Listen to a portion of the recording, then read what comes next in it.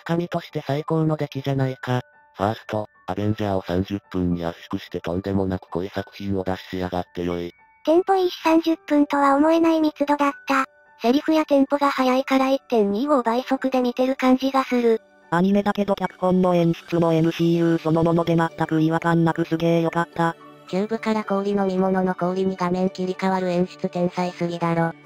誰だよあんなシーン思いついたの。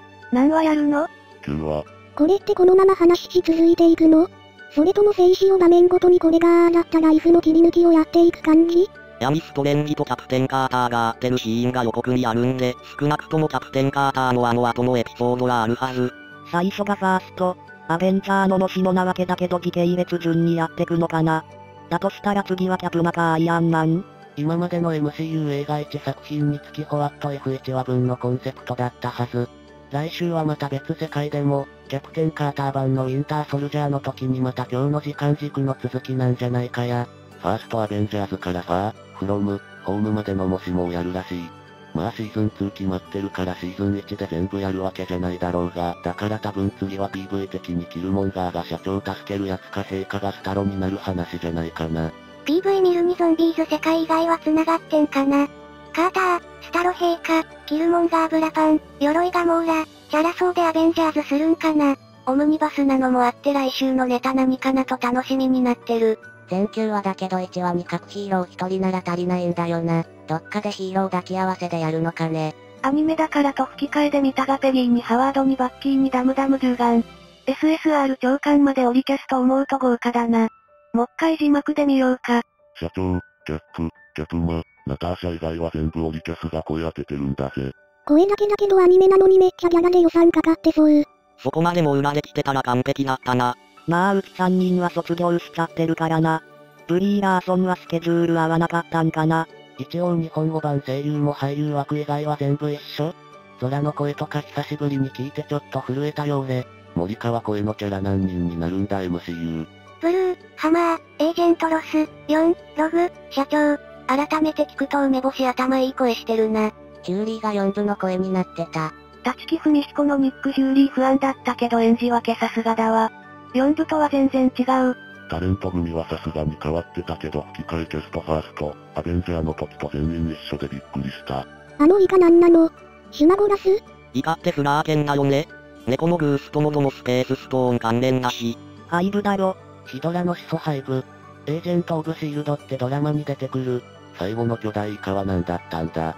ヒドラの神を呼び出すって言うからハイブかと思った。俺もてっきりハイブ来るか？と思ったんだがあれはやっぱ別世界線扱いなんかね。ロキスレでエージェント、オブ、シールドとエージェント、カーターは完全に切除されてるって話だったし、カーターはファイギ関わってるから静止だよ。そうだったかよかった。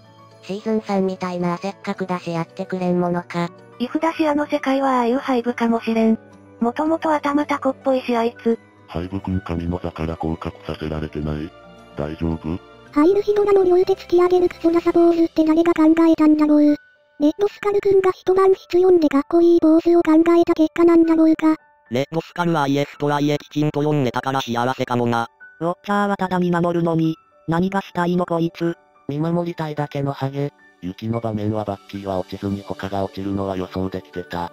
この世界だとバッキー的立ち位置のサイドキックが欠落してるから、シビル号が発生しないけど最終的にサノスに勝つ未来に繋がるのかな。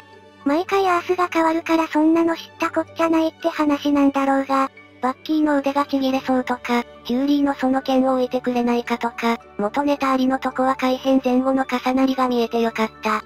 ただバッキーがカマホモっぽいのが気になった。予想以上に面白かった。バッキーが無事でよかった。腕がもげるかと思った。そんなまるで腕がメタルアームになっちゃうみたいな。きっかけが些細なことでところどころ映画と同じカットがあるのが本当にもしもの話っぽくて面白いわ。まあ内容はともかく、ビブラニウムの盾のあの音が聞けただけでも満足よ。ヒドラストンパー使った空中戦とか巨大イカとか見応えあったわ。キャプテンカーターとストンパーのアクションが思ったより良かった。個人的には期待以上に楽しめたなスティーブはその間もストンパーやってたんだろうか。終戦後はエージェント、ロジャースになってそう。スティーブがウィンターソルジャーになるのかと思ったけど違ったな。自分がファーストアベンジャーが好きな理由が出てくる味方がみんないい人だからだけど、スティーブがキャプテンにならなくてもそれが変わらないのが見てて嬉しいねウィンターソルジャー不在の時空になったな。ハワード夫妻が暗殺されない展開になるのか？科学技術の面でも大きく変わるな。石入りアーマーはキートがすぎるぞスターク。ハワードあの時代にアイアンモンガー相当のスーツ作るとか。それじゃオバディアただの雑魚じゃないですか。ハワードとトニーが異常なんだって火炎放射の演出も4次元キューブの力でビームみたいになってたし。シュリ、あれくらい普通でしょ。ビム、うん、ロケット、だよな。一応テッセラクト解析のおかげだよ。いや十分すごいが、70年の間に逆にあのスーツ悪用されてそう。最後同じ宇宙 ?70 年後にタイムスリップ？エージェントカーター見てたから、余計楽しめたと思う。ファースト、アベンジャーだけ見ている人だと、あの破天荒なペギーには驚いたんじゃないかな。コールソンもそうだけど、ドラマキャラももっと活躍してほしいな。ペギー結成のおかげだけどノー筋だな。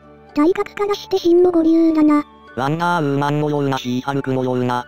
ジーブの突進跳ね飛ばせるとかスティーブより強すぎないかカーター。女とはいえヒョロガリもヤシから強化されたわけじゃないから体能力はスティーブより上なんじゃないの？